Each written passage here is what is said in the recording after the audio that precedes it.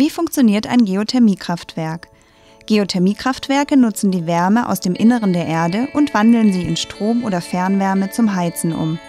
Die Fachleute unterscheiden zwischen oberflächennaher und tiefer Geothermie. Bei der oberflächennahen Geothermie wird die Wärme unmittelbar zum Heizen von Häusern genutzt. Wird die Wärme aus über 400 Metern Tiefe genutzt, spricht man von tiefer Geothermie. Aber woher kommt die Wärme aus dem Inneren der Erde? Die Wärme wird grundsätzlich aus zwei Quellen gespeist. Zum einen aus der Restwärme aus der Entstehung der Erde. Zum anderen aus der Wärme, die bei dem Zerfall radioaktiver Stoffe wie Uran, Thorium und Kalium entsteht, die natürlicherweise im Erdmantel und der Erdkruste vorkommen.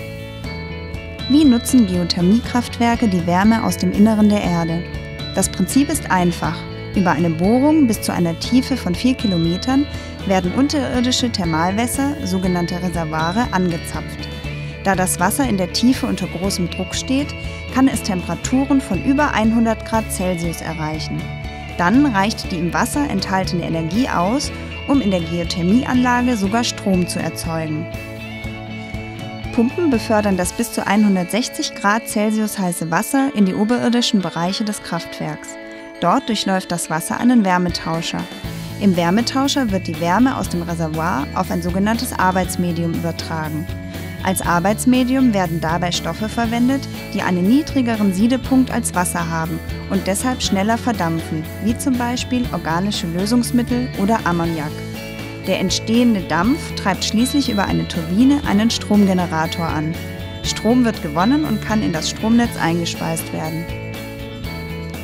Nachdem das Wasser den Wärmetauscher durchlaufen hat, ist es auf etwa 80 Grad Celsius abgekühlt. Die Restenergie des Wassers kann zum Beispiel für Fernwärmeheizungen oder andere Prozesse wie die Trocknung von Materialien genutzt werden. Mit etwa 60 bis 70 Grad Celsius verlässt das Wasser dann das Kraftwerk und wird zurück ins Erdreich geleitet. Auch wenn das Prinzip der Geothermie einfach ist, steckt jede Menge Wissen und Technik hinter der Nutzung von Erdwärme. Die eingesetzte Technik muss mit den extremen Bedingungen in 4 Kilometern Tiefe zurechtkommen. Dort sind die Rohre und andere Anlagenteile unter anderem extremem Druck und Hitze ausgesetzt. Damit die Anlage trotz dieser hohen Anforderungen Strom gewinnt, muss sie ständig gut überwacht werden. Das gleiche gilt für das Thermalreservoir, das trotz des menschlichen Eingriffs weiterhin intakt bleiben soll. In Island sind die geologischen Bedingungen so günstig, dass 25 Prozent des Stroms über Geothermie gewonnen werden kann. Zusätzlich heizen 90 Prozent der Haushalte mit Erdwärme. Auch in einigen Gegenden Deutschlands wird die Geothermie zur Stromgewinnung bereits eingesetzt.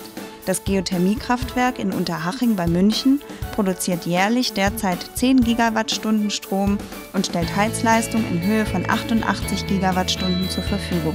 In Deutschland steckt die tiefe Geothermie zur Stromgewinnung allerdings noch in den Kinderschuhen. In den nächsten Jahren sind deshalb noch größere Forschungs- und Entwicklungsarbeiten notwendig, um das Potenzial dieser regenerativen Energieform für Deutschland auszuloten und zu erschließen.